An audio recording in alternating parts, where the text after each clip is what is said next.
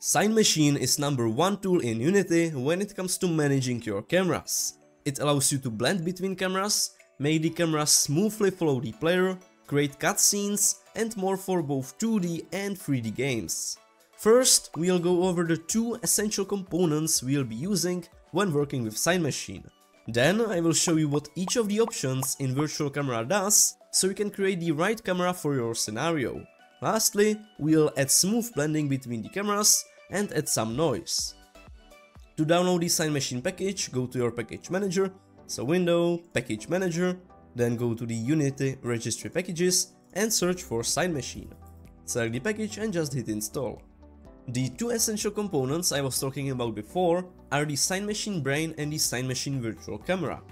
The Cinemachine Brain has to be placed on the main camera object and should be just one in the scene. It decides where the real camera should be based on the positions of virtual cameras and it also applies blending. Without it, the camera wouldn't change its position at all. On the other hand, the Cinemachine Virtual Camera gives information to the Cinemachine brain about the virtual camera's position, the FOV, priority, the object it is following, and some additional info, and using the brain component we can then blend between the virtual cameras. I have just created an empty object on which I have added the camera component and I will add the Cinemachine brain as well. And this main camera that we have shouldn't be under any parent, because the Cinemachine brain will decide on its own which camera it should be following, and then we can add the virtual cameras, so again create new empty object, and add the virtual camera components to it. So right now as we have just one virtual camera, the Cinemachine brain will be always following this one, so if I go into the scene and I'm playing the game, I can just set the virtual camera and we'll see that the Cinemachine camera is moving with it. Let's now go over the Cinemachine virtual camera component. The first thing we see is the status, so if we are rendering what the camera sees or not, because later as we have multiple of them, we'll be rendering just what one camera sees. We have field of view of the camera, we have some transitions that we'll be using later, and the things that I will be focusing on mostly is the body and the aim, where you can actually decide how the camera should be moving and which objects it should be following. Let's first go through all of the aim options that we have, and to use these we need to assign the look at transform, so at which transform it should be looking, in my case that's the character controller. Let's start with the first one, which is the composer. This one will just try to be looking constantly at the object, so as I'm moving the camera, you can see it's also applying some easing to it, and I can remove it wherever I want, and it will still be looking at it. The same way that if I move with the player, yep, the camera is still looking at it. And if you don't want to see all of these guides that you have here, you just untick this checkbox. We can apply some offset to the tracked object, so maybe it's higher or maybe it's lower, more to the left, more to the right, so on. Can also apply some look ahead time, so as I start moving with the player, it will actually be looking in the direction that it is moving, not directly at the player, which can also be quite useful in some cases. We can adjust the damping, so if I put it to 0, it will be just looking at it without any smoothing, but if I make the damping greater, it will just add some more smoothing. And we can also adjust the boundaries of this blue and the red box, so if the player ever gets into the red box, it will just quickly try to get out of it. And the way that we can adjust it is using the soft zone width and the height, and we can also add some dead zone, so do it like this. So now if the player is anywhere inside of this gray square, it's not going to move at all. Next aiming option we have is the group composer, which works really the same way as composer, just for multiple objects. So I've created an empty object which will be the Cinemachine target group, so let's add the component to it, where we can just add all of the objects that should be followed by the group composer. Now let's add a cube. So I will select the composer group, I will add those two targets, the first one will be the cube, the second one will be the player. And back in the virtual camera, I will just assign the composer group as the look at object. So now as I'm moving those two objects, all the time is trying to look at both of them at the same time, which can be especially useful if you are working on some, let's say, boxing game, where you have two characters that are fighting each other, and at all times you want to see both of them. Right now we cannot really see the whole objects, so this we can adjust in the Cinemachine target group, where you can just increase the radius of each of the objects, and we can also adjust the weight, so maybe we want the camera to be looking more at the player, so we can just increase the weight of the character controller. Now as we walk around with the player, at all times it's trying to take a look at the player as well as the cube. In the group composer we have pretty much the same settings as in the composer, so let's get to the next aim option, which is hard look at. So I will set the look at transform back to the player, and if I move with it, you will not be surprised, it will just be directly looking at the player without any smoothing, nothing special. But the next aim option is definitely interesting, this is the POV, in this one again we have a ton of options, but what we can actually do in the game is that we can just look around. That's what POV is. So we can look around as much as you want, but the up and down is clamped, so we cannot look directly into the sky and into the ground. And all of this we can pretty much adjust using these settings here. In the options we can adjust the value range, which is the minimum and the maximum value to which we can look. We also have the speed, the acceleration, deceleration, the axis, which is affecting it, so the POV aiming option is definitely something you could directly use for your first person character controller. And the last option we have under the aim section is same as follow target, to which we actually need to assign the follow target. So let's just drag in the character controller. So now if I'm rotating with the character controller, which you can see here, it's rotating the camera as well. And that's all for the aiming that we can do with the camera. So now I will set it to do nothing and we can get to the body, which will actually make it move. So let's start the third person follow.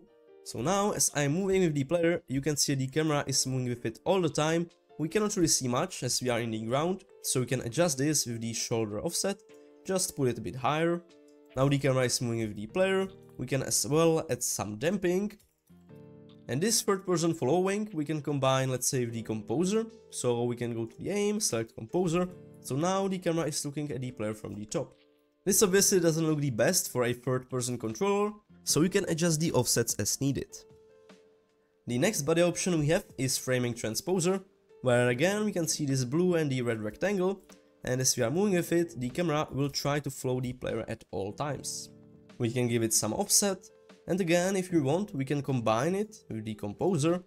And if I set some offset to the composer, now we are looking at the player from the back and it is all smoothing. But still, you can see that sometimes it's cutting a bit, which is because the camera is being updated likely in update and the physics of the player are being updated in fixed update. So the way that we can fix this is really simple. Just select the Cinemachine camera, where we have the Cinemachine brain.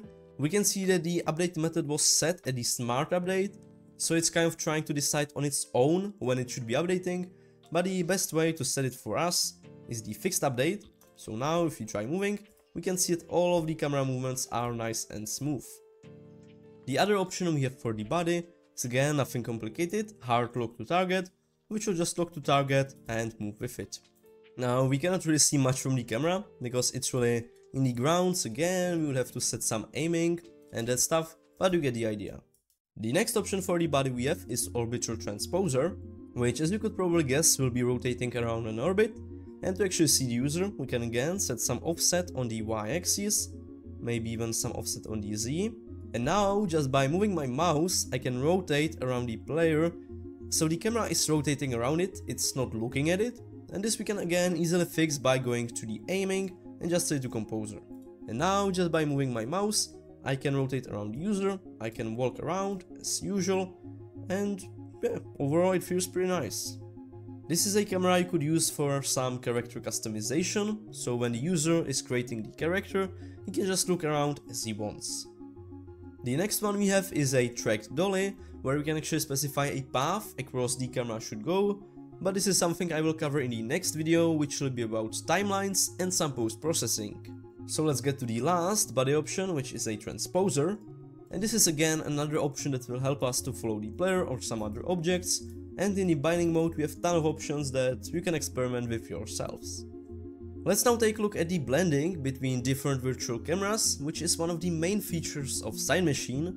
So I have still the main character controller as I had it before, I have added a weapon inside of his hands, and we'll be creating just a simple aiming animation, which won't really be animation, it will be just transferring between those two cameras. So one camera is the first person camera, which is in the player's eyes, and I will just copy this one, move it here so that it's looking at the weapon, that seems to look good, and we don't only have to be blending the position, but we can blend all of the other virtual camera properties as well, So maybe one camera should be trying to aim at something, the other one should not be.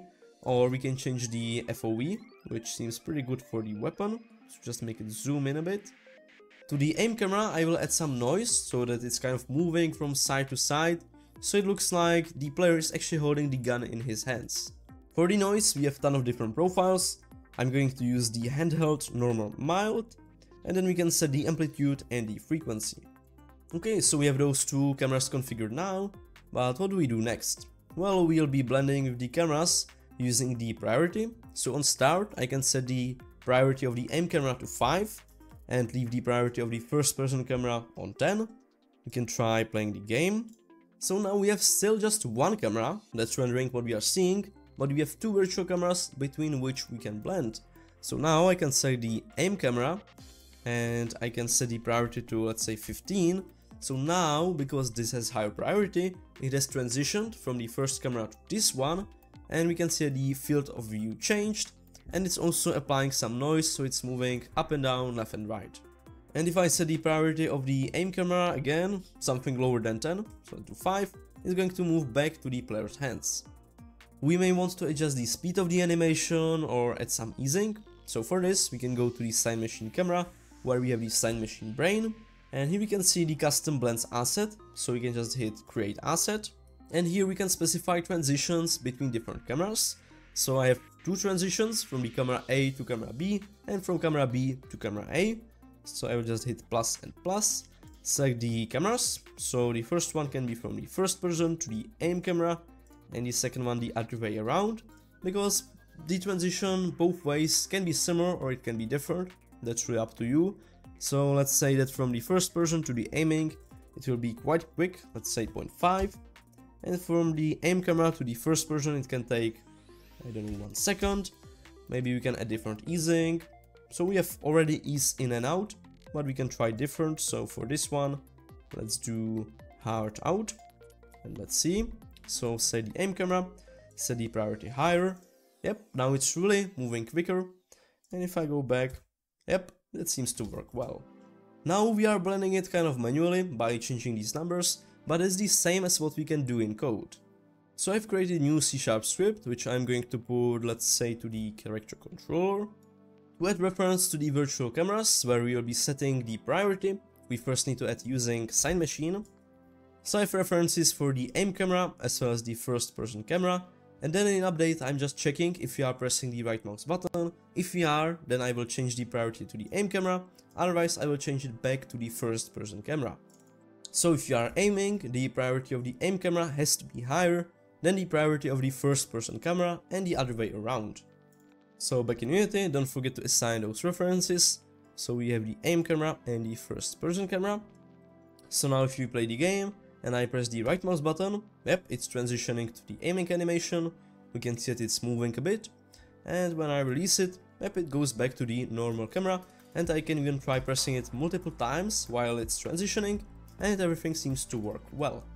So now you know how to set up the Cinemachine virtual camera component, so setting up the body and the aiming, so that you can really create your own customized character controllers. And this doesn't only work for character controllers, as I said, you can use it for some customization of your characters, so maybe you are looking around it, or when you have some fighting game and you want to look at the two enemies at the same time, you can use the other camera that I shown you. But if you are just looking to create first person or third person camera controller with some nice easing, then Cinemachine is going to work as well. I also shown you how to blend between different virtual cameras, so that your game feels really nice and smooth. And in the next part I will show you how to add some post-processing to your cameras, so each camera may have different post-processing, we'll take a look at the timeline and much more, so let me know if you are interested in that. If you are looking to find some game developer friends or just seeking help, then feel free to check our Discord server, and if you want to support me financially and take a look at my other videos, then feel free to take a look at my Patreon. I hope that this video was useful, if you have any questions or suggestions, leave them down to the comments, don't forget to like, subscribe, and I will see you in next videos. Bye!